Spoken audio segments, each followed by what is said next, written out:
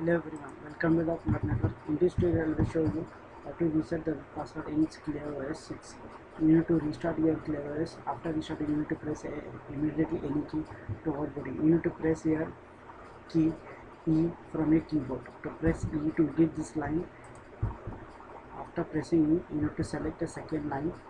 Then press a E from your keyboard again to edit the line, and then you need to type 1 or MOE in 1 or single S.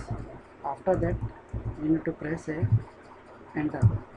Then you need to press a B to boot a Linux ClearOS.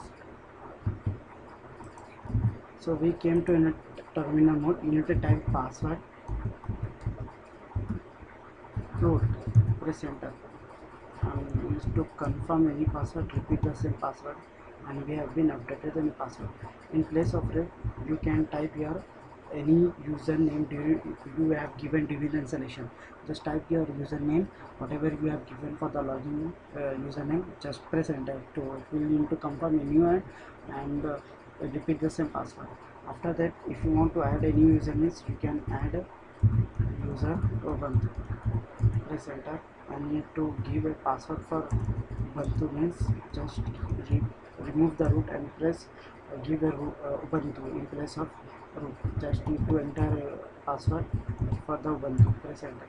So we have been updated the password resetting need to reboot. So this is the end of my video installation. Please subscribe to Cloud. thank you for watching